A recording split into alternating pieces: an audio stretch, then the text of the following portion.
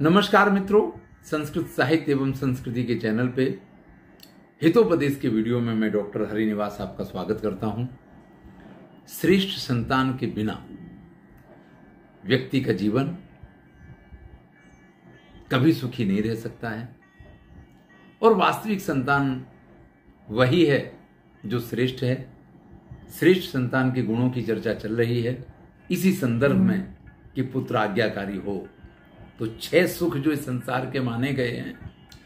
अर्थागमो नित्यमरो गीता च अर्थागमो नित्यमरो गीता च प्रिया च, भार्या प्रियवादिनी च वस्यस्य पुत्रोऽर्थकरी च विद्या।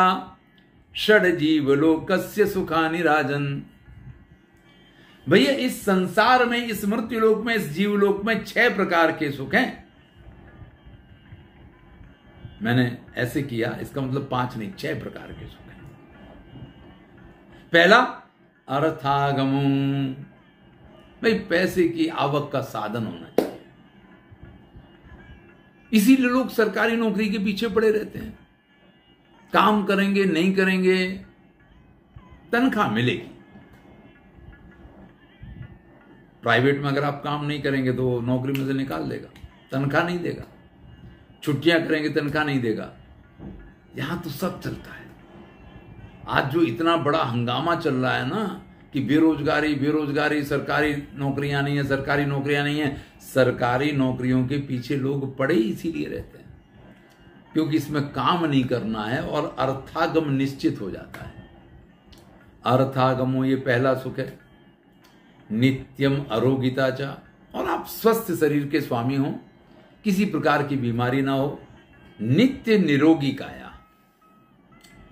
गुजराती में कहावत है, उसमें कहते हैं, पहलू सुखते जाते नरया। यानी दुनिया का सबसे पहला सुख है कि व्यक्ति स्वस्थ हो। यहाँ अर्थागम को पहला सुख माना गया है, क्रम में और दूसरे क्रम में इन्होंने नित्य निरोगी काया। भाई, अगर शरीर ही रोगी हो तो फिर तो जीवन काहे का मृत्यु से भी वो बदतर हो जाता है। तीसरा, प्रिया च भार्या, प्रियवादिनी च पत्नी, प्रिय हो। कई बार ऐसा होता है, जो प्रियतमा होती है, वो पत्नी नहीं होती है। और जो पत्नी होती है, वो प्रियतमा नहीं रहती है। जिन लोगों ने लव मैरिज की होती है, प्रेम विवाह किए होते हैं, विवाह के बाद वो भी प्रियतम और प्रियतमा नहीं रह जाते हैं पति पत्नी हो जाते हैं। भाई, वैसे पति पत्नी का दर्जा तो बहुत बड़ा है, लेकिन जिसको सुख माना गया है, वो तो प्रियतमा के साथ ही माना और वो बड़ा ही सौभाग्यशाली है, वही अच्छा और सच्चा सुखी है, जिसकी भार्या प्रियतमा हो, ये बात यहाँ कही गई भाई, ये तीसरे प्रकार का सुख माना गया है। और मधुर भाषणी स्त्री का साथ, ये भी एक बहुत बड़ा जीवन का सुख है। इन दोनों को इकट्ठा मत कीजिएगा।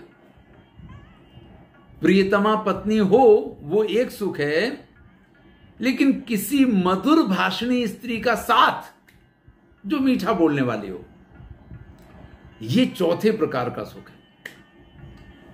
पांचवा सुख है वश में रहने वाला पुत्र। पुत्र ऐसा हो जो पिता की आज्ञा पे, पिता के एक इशारे पे, या तो श्रवण की तरह उनकी डोली उठा के उनको तीर्थ यात्रा पे निकल जाए या राम की तरह वन को चला जाए, चेहरे पे एक शिकन तक लेके ना आए, ये अपेक्षा कुछ ज़्यादा हो जाएगी। लेकिन कम से कम पिता का मान सम्मान आदर करने वाला और पिता की आज्ञा का पालन करने वाला हो तो ये भैया पांचवा इस संसार का सुख है और छठा और अंतिम सुख माना गया है, अर्थ करी च विद्या। आप पढ़े हैं। आपने खूब शास्त्रों का अध्ययन किया। लेकिन आपका वो अध्ययन अगर आपको निर्धन ही मार देता है, आप उस अध्ययन से अगर धनोपार्जन नहीं कर पाते हैं तो उस अध्ययन को यहाँ पे सुख देने वाला अध्ययन नहीं माना गया है। ध्यान रखिएगा, हमारे यहाँ ये कहावत है कि सरस्वती और लक्ष्मी के बीच में है। जहाँ सरस्वती होती, वहाँ लक्ष्मी नहीं होती और जहाँ लक्ष्मी होती, वहाँ सरस्वती नहीं होती है। लेकिन भैया, यहाँ पे उस सरस्वती को श्रेष्ठ माना गया है, लक्ष्मी जिसकी सहेली बन के आ जाए। यानी विद्या वो श्रेष्ठ मानी है जो धनोपार्जन कर सके।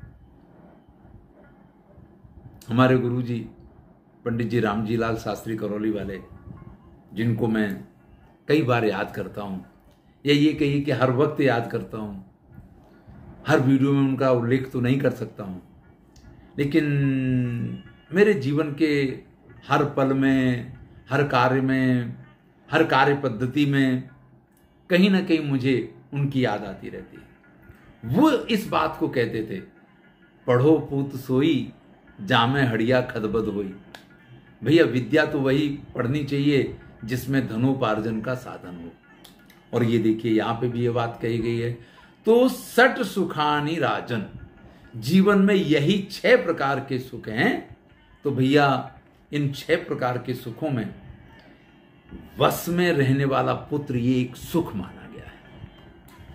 चलिए अगले श्लोक पे चलते हैं। को धन्यो बहुभी पुत्र कुशूला पूर्णाणकई वर में कहा कुलालंबी यत्र विश्रूयते पिता। भाई कुशूल हो ना, कांटों से भरा हुआ एक पात्र हो, सरल भाषा में हम आपसे कहें। और और जो इसका वास्तविक अर्थ है, जो कुधान्य है, आप ये मान लीजिए कि भूसी से भरा हुआ, अनाज रखने का अगर कोई पात्र है तो भैया, ऐसे आपके पास बहुत सारे पात्र हों तो क्या फ़ायदा? यानी बहुत सारे कुपुत्र आपके हैं तो उनके होने से कोई लाभ नहीं है। वरम एक कुलालंबी। एक ही पुत्र श्रेष्ठ है, जो कुल का नाम रोशन करने वाला हो, कुल का अवलंबन आधार हो, कुल दीपक हो। जिसके नाम से पिता को जाना जाए देखिए, हमारे यहाँ एक पंक्ति है कि पुत्रात शिष्यात पराजय इच्छित प्रत्येक गुरु किसी एक ऐसे श्रेष्ठ शिष्य की तलाश में रहता है कि जिसके मिल जाने से उसको इस चीज़ का आनंद हो कि लोग ये कह के बुलाएँ कि ये अर्जुन के गुरु द्रोणाचार्य हैं। तो ऐसा प्रत्येक गुरु चाहता है जैसे ऐसे ही प्रत्येक पिता भी ये चाहता है। हमेशा पुत्र अपने पिता के नाम से जाना जाता है।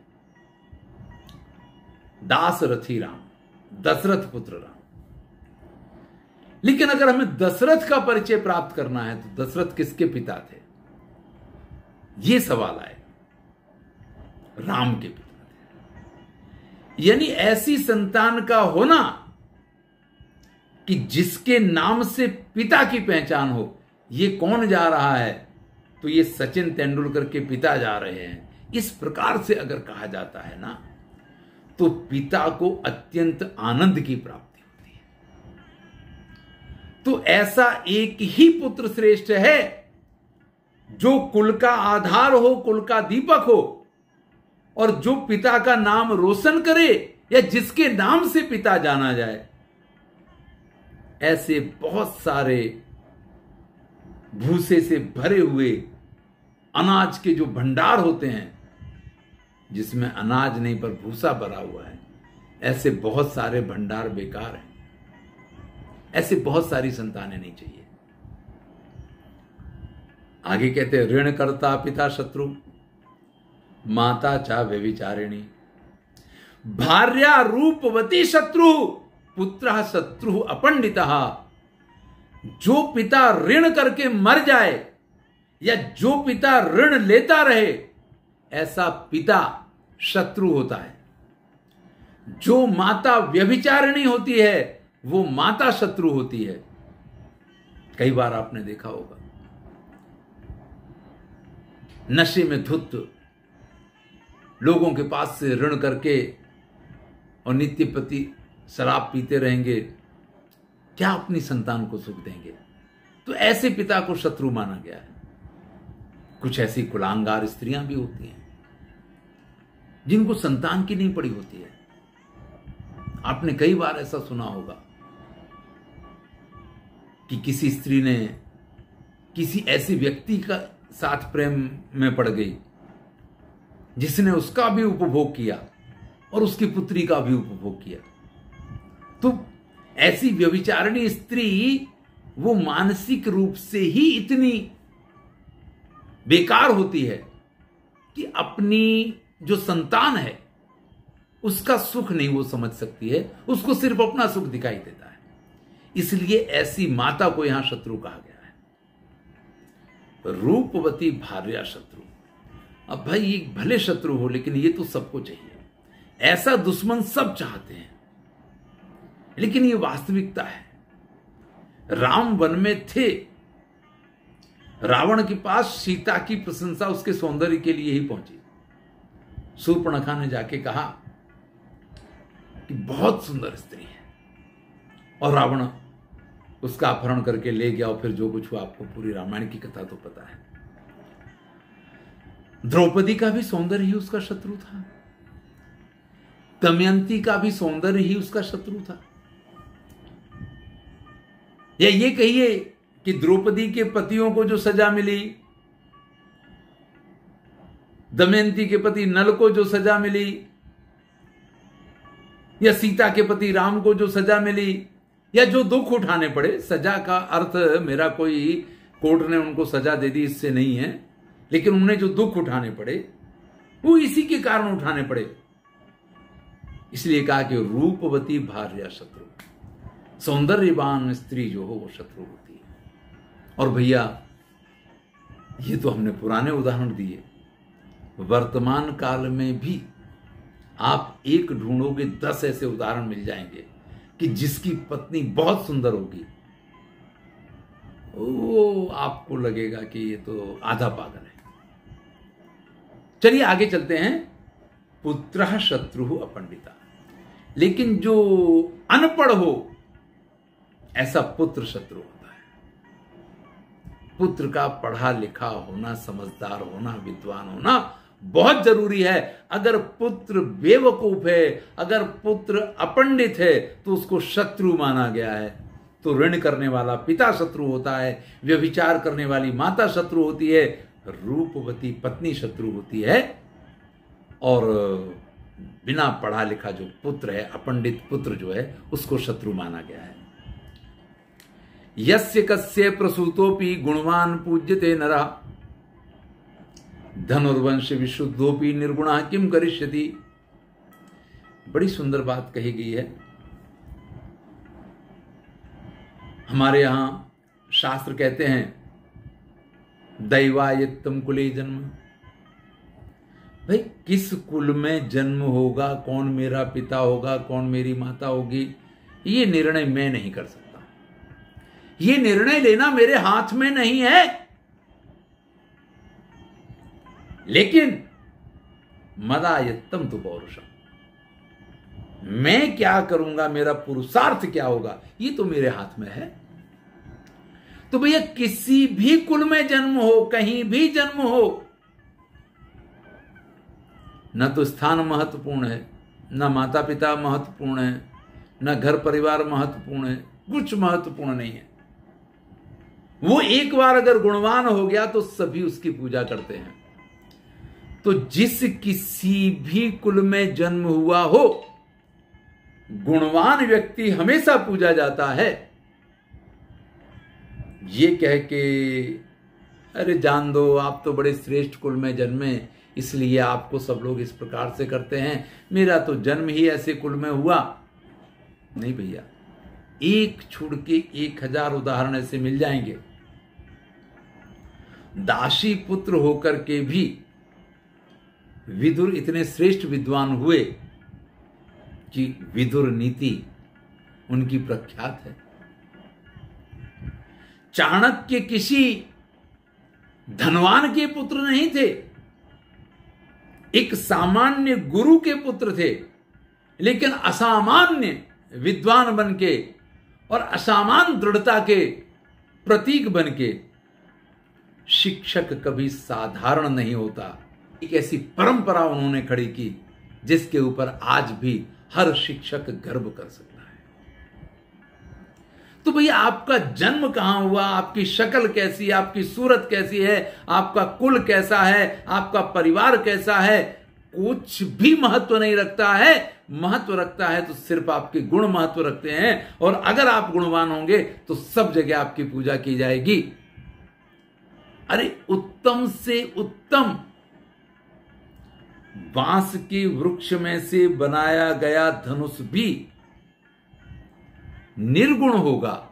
यानी अगर उस पर दोरी नहीं होगी, उस पर प्रत्यंचा नहीं होगी तो धनुष किस काम का? भैया, वो तो लाठी भी नहीं बन पाता है। क्योंकि लाठी में फिर भी वो शक्ति होती है। धनुष में तो लाठी की तरह प्रहार करने की भी शक्ति या क्षमता नहीं होती है। उसकी क्षमता तो उसकी दूरी से ही आती है। तो कितने भी श्रेष्ठ बाँस से बना हुआ धनुष हो, बिना दूरी के जैसे धनुष बेकार होता है, ऐसे ही किसी भी कुल में व्यक्ति जन्मे, श्रेष्ठ में है, निकृष्ट में है, ये महत्वपूर्ण नहीं है। महत्वपूर्ण उसके गुण हुआ करते हैं और उन्हीं से उसकी पूजा होती है। धन्यवाद। इससे आगे की चर्चा हम अगले वीडियो में करेंगे। मैं हूँ डॉक्टर हरिनिवास। आनंद लीजिए, हितोपदेश चल रहा है। नीति की बातें हैं छोटे छोटे श्लोक हैं। लिख के आपके सम्मुख इसलिए प्रस्तुत कर रहा हूँ, जिससे कि आपको पढ़ने में कोई दिक्कत ना हो, क्योंकि इनमें से बहुत सारे श्लोक ऐसे हैं जो आपको याद कर लेने चाहिए। यही तो इसका सबसे बड़ा फल है। सबसे पहले इसी की बात की गई थी। पुनः पुनः आप सबका धन्यवाद।